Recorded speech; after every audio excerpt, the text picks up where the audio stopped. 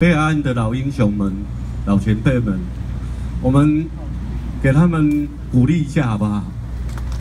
三四十年来，他们不断的冲撞，不断的流血，不断的抗争，甚至一零三年事件开了挖子挖土机进去核电厂，打开了大门，被判刑。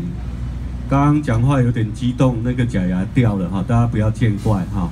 啊，呃，再次。谢谢各位，依然还是关心着核电跟核废的议议题。也感谢所有主办单位、全国废废核行动平台的所有伙伴。我们有几百个 NGO 的团体关心我们，你们的关心也是鼓励着我们继续前进的力量。我想。你们的关心是可以感动我们，可以继续对地方、对台湾这一个核废议题、核电议题继续走下去的动力。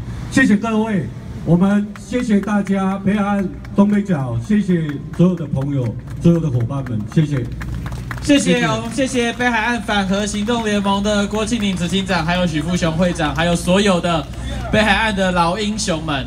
他们三四十年来在北海岸，他们面临的其实就是核电厂，一直就在他们生活的周遭。